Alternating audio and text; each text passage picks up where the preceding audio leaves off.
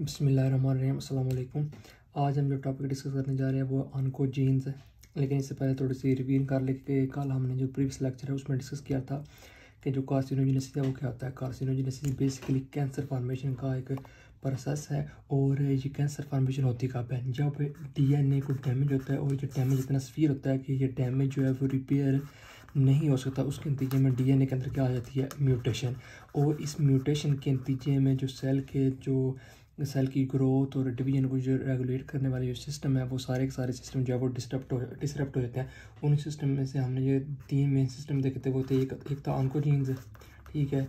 एक था tumour suppressor jeans और तीसरे थे रेगुलेटर ऑफ़ अपाप्टासिक इन तीनों को, इन तीनों के हमने कल नाम सिर्फ़ और सिर्फ़ डिस्कस किए थे, लेकिन आज हम इनमें से जो पहला सिस्टम है आनको जीन्स या प्रोटोन का जीन्स आप कह लें, उसको हम फर्दर डिटेल के साथ, पूरी डिटेल के साथ हम स्टडी करने लगे हैं। तो ऑनको जीन्स या प्रोटो ऑनको जीन्स होते हैं प्रोटो ऑनको जीन्स देखते हैं। जब प्रोटो ऑनको जीन्स वो जीन्स होते हैं जो सेल की नॉर्मल ग्रोथ और रेगुलेशन और डेवलपमेंट के लिए ज़रूरी होते हैं। यानी कि सेल की जो नॉर्मल ग्रोथ और डिवीज़न को कंट्रोल करने के लिए और रेगुलेट करने के लिए प्रोटो ऑनको जीन्स ज़रूरी होते हैं। ये प्रोटो ऑनको जीन क्या होते हैं? इनमें डिफरेंट ग्रोथ फैक्टर्स हो सकते हैं। Growth factors growth factor receptors आ सकते हैं, इसके अलावा ट्रांसक्रिप्शन फैक्टर्स आ सकते हैं। तो ये सारे होते हैं प्रोटो ऑनको जीन्स लेकिन जब इन प्रोटो ऑनको जीन्स के अंदर कोई म्यूटेशन आ जाती है तो इन म्यूटेशन के नतीजे में जो प्रोटो ऑनको जीन्स है, वो अब बन जाते हैं ऑनको जीन्स अच्छा ऑनको जीन्स वो जीन्स होते हैं जो प्रोटोन को जीन की म्यूटेशन के नतीजे में बनते हैं और ये कैंसर करवाने की सलाहियत रखते हैं, यानी कि जो सेल की ग्रोथ जो नॉर्मल है इसे स्पीड अप कर देती है और स्पीड अप होने की वजह से जो नॉर्मल सेल वो कैंसर सेल के अंदर चेंज होता है। तो अभी हम आनकोजीन की डिफरेंट कैटेगरीज है, हर एक कैटेगरी को डिटेल के साथ स्टडी करेंगे। आनकोजीन की डिफरेंट कैटेगरीज होती है आनकोजीन ग्रोथ फैक्टर्स भी हो सकते हैं। यानी कि नॉर्मली जो ग्रोथ फैक्टर है वो क्या काम करते हैं? नॉर्मली ग्रोथ फैक्टर क्या का, का, काम ये होता है कोई ग्रोथ को स्टिमुलेट करते हैं सेल की नॉर्मल ग्रोथ करवाते हैं। लेकिन अगर ये जो ग्रोथ फैक्टर है ये ओवर स्टिमुलेट हो गए यानी कि जो ओवर एक्सप्रेस हो गए यहाँ बहुत ज़्यादा ग्रोथ फैक्टर मौजूद है तो उसके नतीजे में क्या होगा? सेल की जो ग्रोथ है वो एक्स्ट्रा होगी वो ज़रूरत से ज़्यादा होना शुरू हो जाएगी। और जब ये अननेसेसरी ग्रोथ होगी तो ये फर्दर लीड कर जाएगी कैंसर की तरफ़। तो इसकी एग्जांपल जो हम डिस्कस करते हैं वो ये है कि प्लेटलेट ड्राइव्ड ग्रोथ फैक्टर अच्छा normally platelet derived growth factor का क्या काम है? ये नॉर्मली से नॉर्मल ग्रोथ करा करानी है क्या उसका नाम है? अंजूजनसिस में टेक प्लेस हिस्सा लेते हैं, उसके अलावा सेल की नॉर्मल ग्रोथ में हिस्सा लेता है। लेकिन अगर ये जो प्लेटलेट्स ड्राइव ग्रोथ फैक्टर हैं, जो ओवर एक्सप्रेस हैं इन एस्ट्रोसाइट्स तो इसके नतीजे में क्या होगा? एस्ट्रोसाइटोमा हो जाएगा।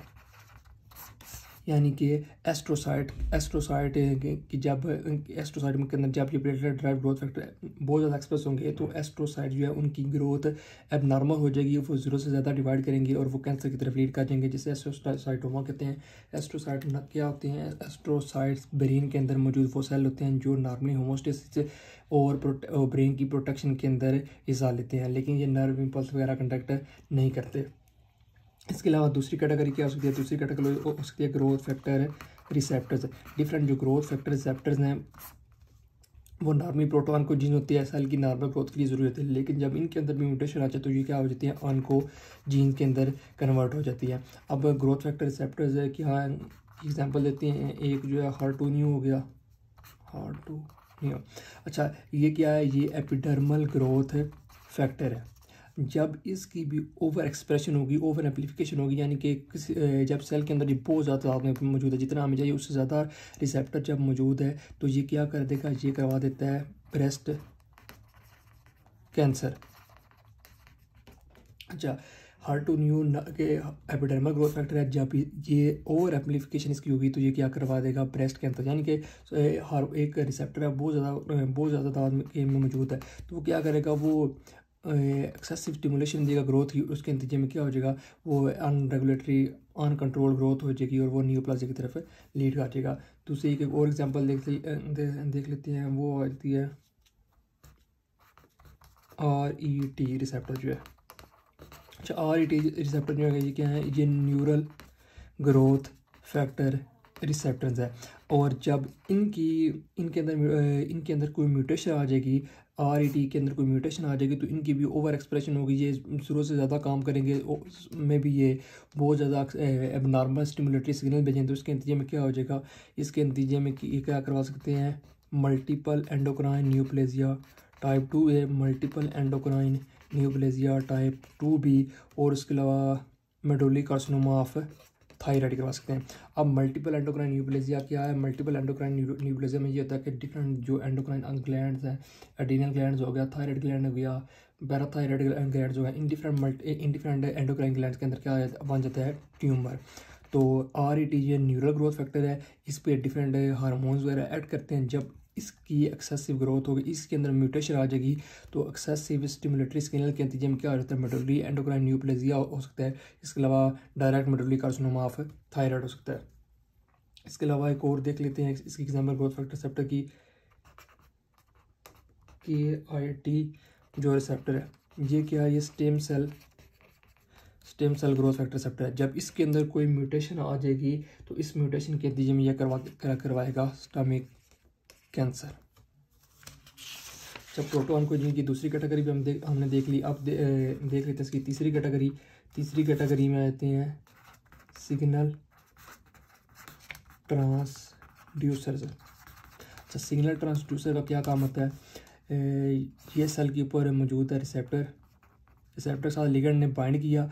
अब इस लिगेंड के साथ बाइंड करने के बाद जो सिग्नल ट्रांसड्यूसर होते हैं, वो सिग्नल को फर्दर ट्रांसफ़र कर देती हैं। इसके टारगेट टारगेटेड रीजन तक मे भी वो कोई इंट्रा इंट्रा न्यूक्लियर रीजन हो सकता है, कोई भी रीजन हो सकता है। तो सिग्नल ट्रांसड्यूसर का क्या काम होता है? इन्होंने रिसेप्टर रिसेप्टर से सिग्नल फर्दर ट्रांसफ़र करना होता है। तो सिग्नल ट्रांसड्यूसर में जो सबसे इंपॉर्टेंट एग्ज़ाम्पल है, वो आती है रास जीन फैमिली की। रास क्या है? ये एक G T G T P binding protein है। जब ये इनएक्टिव इनएक्टिव स्टेट के अंदर मौजूद होती होती है तो इसके ऊपर जी डी पी प्रेजेंट होती है। लेकिन जैसे ही रिसेप्टर के साथ लिगेंड बाइंड करता है तो रास जो है, वो एक्टिवेट हो जाती है, और एक्टिवेट कैसे होती है, ये अपने जी डी पी को किसमें कन्वर्ट कर देती है? जी टी पी के अंदर। जब G D P G D P G T P के अंदर कन्वर्ट हो जाता है तो ये रास एक्टिव हो जाती है। रास एक्टिवेट होने के अंदर में जो अपना सिग्नल है वो फर्दर ट्रांसफ़र कर देती है न्यूक्लियस तक। जब न्यूक्लियस तक सिग्नल ट्रांसफ़र होगा तो अगर न्यूक्लियस के अंदर ट्रांसक्रिप्शन होगी, यानी कि मैसेंजर आर एन ए बनेगा और मैसेंजर आर एन ए की फर्दर ट्रांसलेशन हो जाएगी, उसके नतीजे में प्रोटीन बन जाएगा। तो ये काम होता है बेसिकली सरास जीन फैमिली का, ये डिफरेंट ग्रोथ फैक्टर्स के साथ बेसिकली लिंक्ड होती है और उस ग्रोथ फैक्टर के साथ जब रिसेप्टर बाइंड करता है तो ये एक्टिव होती है। एक्टिव कैसे होती है? G D G T P को अब इनको जी टी पी में कन्वर्ट करती है और उस आगे फिर फर्दर अपना सिग्नल ट्रांसफ़र करती है।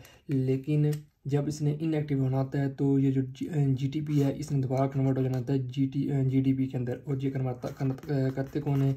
इसके अपने पास ही जी टी पी एस मौजूद होते हैं और इन जी टी पी एस को एक्टिव कौन करवाता है?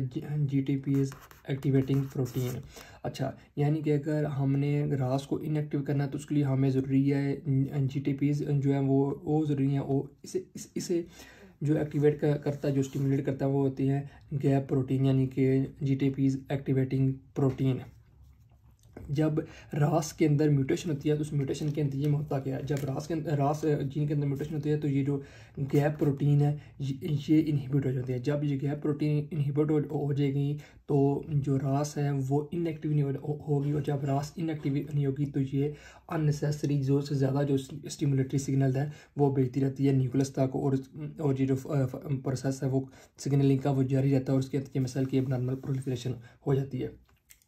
अच्छा अब रास के अंदर म्यूटेशन म्यूटेशन क्या हो सकती है? रास के अंदर कोई भी पॉइंट म्यूटेशन होती है और इस पॉइंट म्यूटेशन के नतीजे में क्या हो, हो सकता है? पॉइंट म्यूटेशन के नतीजे में डिफरेंट टाइप ऑफ़ कार्सिनोमाज वो डिवॉल्व हो सकते हैं। इसके अलावा मेलेनोमा हो सकता है। मेलेनोमा क्या स्किन कैंसर स्किन की जो मेलेनोसाइट है उनकी न्यू प्लास्टिक प्रोलिफरेशन है। इसके अलावा हो सकता है लिम्फोमास तो यानी कि अगर रास फैमिली के अंदर जो कि सिग्नल ट्रांसड्यूसर कैटेगरी से बिलोंग करता है, उसके अंदर म्यूटेशन हो तो डिफरेंट टाइप ऑफ़ कार्सिनोमा हो सकते हैं। कोई मेलानोमा हो सकता है, इसके अलावा लिम्फोमा वगैरह हो सकता है। इसके अलावा जो दूसरी सिग्नल ट्रांसड्यूसर जो हमें देखना है भी वो है ए बी एल अच्छा ए बी एल के अंदर जो म्यूटेशन होती है, वो बड़ी यूनिक होती है। इस म्यूटेशन के अंदर होता क्या है? इस म्यूटेशन के अंदर ये होता है कि जो A B L gene A B L gene जो नॉर्मली क्रोमोसोम नाइन के ऊपर प्रेजेंट होता है, वो ट्रांसलोकेट हो जाता है और बाइंड हो जाता है बी सी आर जीन के साथ जो कि प्रेजेंट होता है क्रोमोसोम ट्वेंटी टू के ऊपर। अभी इसको देख लेते हैं कैसे, ये आ गया हमारा क्रोमोसोम नंबर नाइन ठीक है? और इस क्रोमोसोम नाइन के ऊपर ये प्रेजेंट आ गई ए बी एल जीन और ये प्रेजेंट है हमारे पास क्रोमोसोम नंबर ट्वेंटी टू ठीक है? इस ट्वेंटी टू क्रोमोसोम के ऊपर क्या चीज़ मौजूद है? इसके ऊपर मौजूद है बी सी आर अच्छा अब होना क्या है? म्यूटेशन के नतीजे में होना क्या है? सबसे पहले तो डी एन ए सॉरी, जो क्रोमोसोम है, वो ब्रेक डाउन हो जाना है। ये हमारे पास आ गया chromosome number. Chromosome number A जो नाइन है, वो यहाँ से ब्रेक डाउन हो जाना है। और इसके नतीजे में ये जो पोर्शन है, ये सेपरेट हो जाना है। अब जो क्रोमोसोम नंबर ट्वेंटी टू है, उसकी भी ब्रेक डाउन हो जानी है और उसके नतीजे में क्या होना है कि इसका भी जो बी सी आर से नीचे वाला जो रीजन है ना, वो सेपरेट डाउन हो जाना है। तो ये क्रोमोसोम की कटिंग होगी अब ये वाला जो पोर्शन है, इसने इधर जाके फ्यूज़ हो जाना और इस वाले पोर्शन ने इधर आके फ्यूज़ हो जाना है। तो सिंपली क्या नतीजा निकलेगा?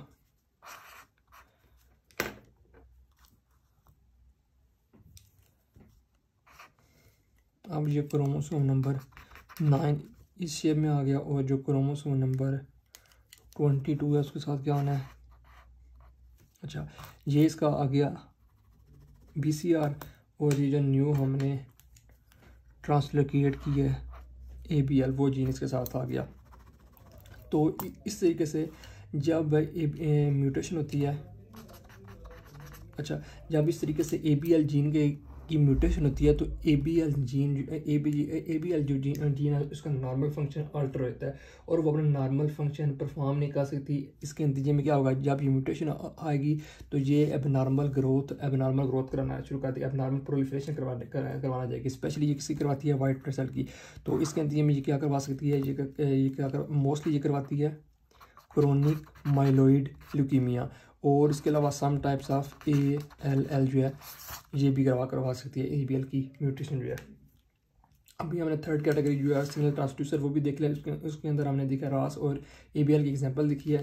इसके अलावा अभी हम देखते हैं फोर्थ कैटेगरी ऑफ़ ऑनकोजीन्स जो कि हैं न्यूक्लियर रेगुलेटर्स अच्छा अब ये आगे nuclear regulators nuclear nuclear regulators क्या है? मोस्टली होते हैं ट्रांसक्रिप्शन फैक्टर्स डिफरेंट जो ट्रांसक्रिप्शन फैक्टर है वो न्यूक्लियर रेगुलेटर का काम देते हैं। और इन ट्रांसक्रिप्शन फैक्टर में जो मोस्ट इंपॉर्टेंट है, वो है एम वाई सी जी इसकी डिफरेंट कैटेगरीज यहाँ पे मेंशन की गई हैं। सी एम वाई सी इसके अलावा एन एम वाई सी और इसके अलावा एल एम वाई सी ये इसकी डिफरेंट कैटेगरीज है। अच्छा अगर इन सारे के सारे हैं क्या ट्रांसक्रिप्शन फैक्टर है? इनका क्या काम है? इनका काम ये है कि इन्होंने ट्रांसक्रिप्शन को करवाना होता है। अब अगर जो सी एम वाई सी है, इसके अंदर म्यूटेशन है। इसके अंदर भी म्यूटेशन वो थोड़ी जी, उस तरह की होती है जिस तरह की हमने देखी है अभी एबेल के अंदर। लेकिन इसके अंदर क्या चीज़ होती है? इसके अंदर ट्रांसलोकेशन होती है एट फोर्टीन की। एट फोर्टीन ट्रांसलोकेशन इसका क्या मतलब? इसका मतलब है कि सी एम वाई सी जो क्रोमोसोम एट पर मौजूद है, वो ट्रांसफ़र हो जाता है क्रोमोसोम फोर्टीन के ऊपर और ये फ्यूज़ हो जाता है आई जी एच जीन के साथ जो कि प्रेजेंट होते हैं, उसके ऊपर क्रोमोसोम फोर्टीन के अंदर। यानी कि जिस तरह ए बी एल जो है वो क्रोमोसोम नाइन से ट्रांसफ़र हुआ है, क्रोमोसोम ट्वेंटी टू के ऊपर फ्यूज़ हुआ है साथ बी सी आर जीन के साथ। इस तरीके से जो C M Y C gene है, वो क्रोमोसोम एट से ट्रांसफ़र होता है और इम्यूनो और ग्लोबिन हाईवी जीन के साथ फ्यूज़ हो जाता है, जो कि मौजूद होती है क्रोमोसोम एटीन के फोर्टीन के ऊपर। अब जब ये सी एम वाई सी की फ्यूजन होगी तो सी एम वाई सी की आ गया ये ओवर एक्सप्रेस हो जाता है। Sorry sorry sorry over express हो गया। अच्छा ओवर एक्सप्रेशन के नतीजे में क्या होगा? ये जो अपना फ़ंक्शन है, वो बहुत ज़्यादा काम बहुत ज़्यादा स्पीड अप करेगा। और उसके नतीजे में जो सेल साइकिल है, वो सेल साइकिल जो फर्दर फॉरवर्ड हो जाएगा और जो सेल की जो प्रोलिफ्रेशन है, वो बढ़ जाएगी और अल्टीमेटली ये किसी की तरफ़ लीड कर जाएगा? न्यू प्लेजिया की तरफ़, यानी कि अनरेगुलेटेड इरिवर्सिबल ग्रोथ की तरफ़ लीड कर जाता है। अच्छा अब अगर और ये सी एम वाई सी के नतीजे में होता क्या? जो हमने पढ़ी है ना sorry I ji H G नहीं, ये सबसे ज़्यादा मोस्टली मौजूद हैं बी सेल के ऊपर। अच्छा इसके नतीजे में क्या होगा? जो बी सेल है, उन्हीं की अब म्यूटेशन करती हैं। बी सेल की अब नॉर्मल प्रोलिफरेशन होगी, और इसके नतीजे में क्या होगा? बर्केट लिम्फोमा और इस लिम्फोमा के अंदर क्या होता है? जो बी सेल है जो स्पेशली जो इंटरमीडिएट साइज़ जो बी सेल हैं, इनकी अब नॉर्मल प्रोलिफरेशन होती है। अब देखते हैं इसको। एन एम वाई सी अच्छा इसके अंदर अगर कोई भी एप्लीकेशन इसकी, यानी कि ये भी ओवर एक्सप्रेस हो गया, यानी कि एप्लीकेशन इसकी जीन की बहुत ज़्यादा हो गई है तो इसके नतीजे में क्या होगा? जब ये जीन बहुत ज़्यादा मौजूद है तो ये बहुत ज़्यादा एक्स्ट्रा फ़ंक्शन प्रवाह का आसान की ट्रांसक्रिप्शन रेट को ये तेज़ कर देगा, वही दोबारा वही न्यू प्लेजर की तरफ़ लीड कर देगा, और ये स्पेशली क्या करवाता है? न्यूरोब्लास्टोमा यानी कि जो नर्वस सिस्टम है, इसका ये कैंसर करवाता है N M Y C N stand for यही सर आप उसको क्या कर सकते हैं इजीली याद कर सकते हैं कि एन एम एस ने क्या करवाना न्यूरोब्लास्टोमा सी एम एस ने क्या करवाना बर्किलोफोमा पीछे आ गई एल एम एस इसके अंदर ये भी अगर ओवर एक्सप्रेस होगा तो इसने क्या करवाना है, इस, इसकी भी जो ग्रोथ है वो ज़्यादा स्पीड अप हो जाएगी और स्पीड अप होने की वजह से ये क्या करवाता है लंग्स कैंसर ये बेसिकली लंग्स के सेल को टारगेट करता है उसके नतीजे में क्या करवाता है लंग्स का कैंसर करवा देता है। अब न्यूक्लियर रेगुलेटर्स को भी हमने देख लिया। अब लास्ट कैटेगरी जो है उनको जिनकी वो हम देखते हैं। लास्ट कैटेगरी है सेल साइकिल रेगुलेटर्स अच्छा सेल साइकिल रेगुलेटर्स क्या करते हैं? इन सेल साइकिल को रेगुलेट कराना नॉर्मल सेल साइकिल क्या है? ये आ गया G one phase G one phase से आए थे। एस फ़ेज़ एस फ़ेज़ हम जाते हैं। जी टू फ़ेज़ की तरफ़ और इस तरीके से यहाँ पे एम फ़ेज़ स्टार्ट हो जाता है ग्रीन फ़ेज़ और यहाँ पे जी ज़ीरो फ़ेज़ होता है कि अगर खुदा कोई नॉर्मलिटी करा तो जी ज़ीरो फ़ेज़ के अंदर सेल जो है एंटर होता है। अच्छा स, ये तो अगर नॉर्मल जो फेजिंग हैं सेल साइकिल की। अच्छा इन फेजेज में ना सेल के अंदर मौजूद होते हैं डिफरेंट चेक पॉइंट्स जो चेक करते रहते हैं कि डीएनए को डैमेज तो नहीं हुआ। अगर डीएनए को डैमेज हुआ तो यहाँ तो उसे रिपेयर कर देंगे रिपेयर नहीं हो सकता सेल की वापस करवा देंगे। अगर डीएनए के अंदर डैमेज होगा तो म्यूटेशन आ जाएगी। म्यूटेशन के नतीजे में क्या हो जाना है? कैंसर हो जाना है। अच्छा ये जो सेल्फ साइकिल रेगुलेटर हैं, ये ये डिफरेंट जो चेक पॉइंट्स हैं, यहाँ पर ये मौजूद होते हैं। चेक पॉइंट्स के ऊपर मौजूद होते हैं। और इन इन सेल साइकिल रेगुलेटर का क्या काम होता है? ये जो सेल साइकिल है, उसको एक फ़ेज़ से दूसरे फ़ेज़ के अंदर ये भेज देते हैं। किस तरह ही भेजते हैं? ये जो सेल साइकिल रेगुलेटर है, इसकी हम एग्जांपल देते हैं। इनमें आ जाती है साइक्लिन और साइक्लिन डिपेंडेंट काइनेजिद अच्छा साइक्लिन और साइक्लिन डिपेंडेंट काइनेजिद क्या करते हैं? ये फास्फोरिलेशन करवा देते हैं। रेटिनो ब्लास्टोमा प्रोटीन की। अच्छा जब रेटिनोब्लास्टोमा प्रोटीन की साइक्लिन और साइक्लिन डिपेंडेंट काइनेज फॉस्फोराइलेशन करवाते हैं तो ये क्या होती है? एक्टिवेट होती है और एक्टिवेशन होने के ये में ये सेल की जो जी वन है, उससे जी सॉरी जी वन से एस फ़ेज़ के अंदर ये उसको सेल को मूव कर देती है। तो इस तरीके से ये सेल साइकिल को रेगुलेट करते हैं। अब हम देखते हैं कि अगर ये जो सेल साइकिल रेगुलेटर हमने देखे हैं, जिसके अंदर आ जाता है साइक्लिन और साइकिल डिपेंडेंट काइनेज इनके अंदर म्यूटेशन अगर वो आ जाए तो क्या होगा? अच्छा अगर साइक्लिन के अंदर म्यूटेशन आ गई साइक्लिन के अंदर म्यूटेशन क्या आती है? ट्रांसलोकेशन इलेवन फोर्टीन अच्छा ट्रांसलोकेशन इलेवन फोर्टीन का क्या मतलब है कि साइक्लिन जो कि मौजूद है क्रोमोसोम इलेवन के ऊपर, वो ट्रांसलेट होती है क्रोमोसोम फोर्टीन के ऊपर फ्यूज होती है, वहाँ पे आई जी एच के साथ इम्यूनोग्लोबन हैवी चेन के साथ। और इस ट्रांसलेशन के नतीजे में क्या होगा साइक्लिन जो है उसकी ओवर एक्सप्रेशन होगी साइक्लिन फिर क्या करेगा सेल साइकिल को स्पीड अप करेगा जी वन से फोर ये एस फेस के अंदर करता जाएगा, और इसके नतीजे में सेल साइकिल क्या बहुत ज़्यादा स्पीड अप हो रही है, और ये क्या करवाएगा मेंटल सेल लिफोमा करवा सकता है। मेंटल सेल लिफोमा भी क्या है पेंटा सेल लिफोमा के अंदर जो स्मॉल साइज़ बी सेल्स हैं। आई जी एच पहले बताया कि आई जी एच के इनके अंदर ज़्यादातर होते हैं बी सेल के बी सेल के अंदर। और, जो साइकिलिंग जब ओवर एक्सप्रेस होगी तो क्या करवा देगा? ये क्या उसका नाम है? मेंटल सेल लिफोमा जिसके अंदर क्या होता है? स्मॉल जो बी सेल है, उनकी न्यूप्लास्टिक पोलिफ्रेशन होती है specially mantle region of lymph nodes के अंदर। अच्छा अब आ गया साइकिलिंग डिपेंडेंट काइनेज अब अगर साइक्लिन डिपेंडेंट काइनेज के अंदर कोई म्यूटेशन आ गया तो इस म्यूटेशन के नतीजे में म्यूटेशन का उसके हो सकता है एम्पलीफिकेशन हो गई, यानी कि साइक्लिन डिपेंडेंट काइनेज अगर बहुत ज़्यादा एक्सप्रेस हो गया तो क्या करवा सकते हैं? ये मेलानोमा करवा सकते हैं। अब जो जितने भी हमने पढ़े हैं अनको इसके अंदर हमने जो मेन चीज़ वो याद रखनी होती है कि ये जो इनके अंदर अगर म्यूटेशन आ जाए तो ये कौन सा कैंसर करवा लें तो जल्दी से इसको रिवाइज कर लेते हैं। पहली जो कैटेगरी हमने अनकोजिन की देखी है, वो देखी है ग्रोथ फैक्टर्स की। ग्रोथ फैक्टर के अंदर हमने देखा है platelet derived growth factor platelet derived growth factor अगर ओवर एक्सप्रेस हो जाए तो क्या करवाते हैं? एस्ट्रोसाइटोमा, फिर हमने देखा growth factor receptor, growth factor receptor के अंदर हमने देखा हर्टोन्यू हर्टोन्यू अगर ओवर एक्सप्रेस हुआ है तो ये क्या करवाते हैं? Breast cancer. इसके अलावा अगर अगर R E T G receptor के अंदर म्यूटेशन आ रही है तो ये क्या करवाते हैं? एम ई ए यानी कि multiple endocrine neoplasia type two A और टाइप टू बी इसके अलावा मेडोली कार्सिनोमा थायराइड करवा, करवाते हैं। इसके अलावा अगर के आई टी रिसेप्टर के अंदर म्यूटेशन आई तो क्या करवाती है? इस्लामिक कैंसर कराते हैं। फिर इसके अलावा हमने देखा सिंगल ट्रांसड्यूसर सिंगल ट्रांसड्यूसर के अंदर हमने देखी RAS RAS gene family RAS gene family का जीन फैमिली का हमने देखा कि रास के अंदर अगर म्यूटेशन आ जाती है तो इस म्यूटेशन के नतीजे में क्या होता है कि ये डिफरेंट कार्सिनोमा मिलोनोमा और लिफोमा वगैरह करवा सकती है।